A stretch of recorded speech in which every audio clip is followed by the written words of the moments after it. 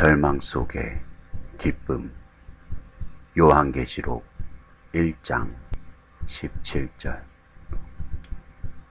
내가 볼 때 그 발 앞에 엎드려 죽은 자 같이 되매.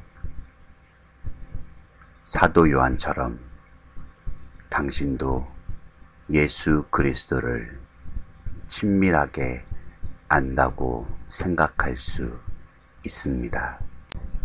그러나 갑자기 주님께서 생소한 모습으로 나타나시면 그때 당신은 주님 발 앞에 죽은 자처럼 꿇어 엎드리게 됩니다. 때때로 하나님은 위험 가운데 자신을 계시하지 않으시면 안 될 때가 있습니다.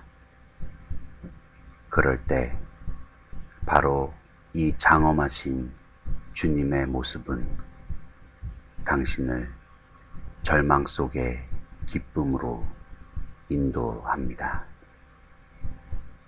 만일 일어나게 된다면 오직 하나님의 손길에 의하여 가능합니다. 그가 오른손을 얹고 그 장엄한 가운데 누가 나를 만집니다. 바로 예수 그리스도의 오른손입니다. 강요나 견책이나 혼을 내는 손이 아니라 영존하시는 아버지의 오른손 입니다.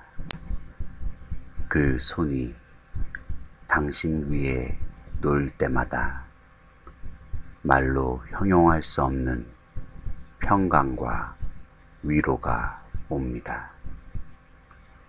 나를 붙잡으시고 위로하시며 힘을 주시는 영원하신 팔입니다.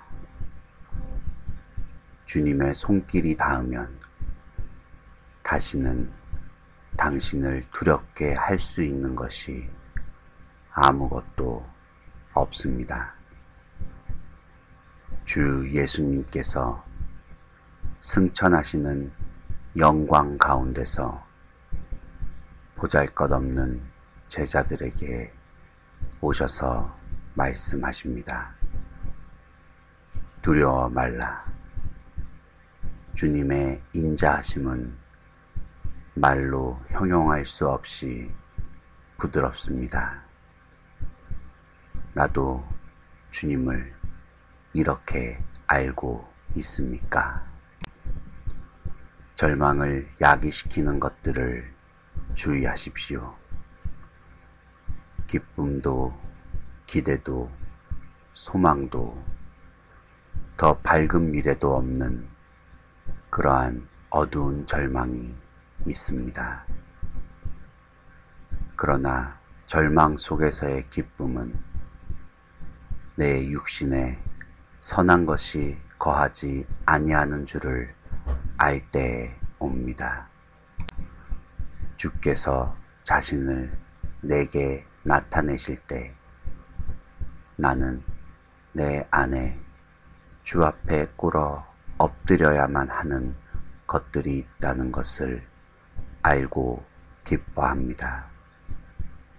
또한 오직 하나님의 손길에 의해서만 일어날 수 있다는 사실을 알 때 절망 속에서 기쁨이 생깁니다. 하나님께서는 내가 내 자신을 향하여 절망할 때까지는 나를 위하여 아무것도 하실 수 없습니다.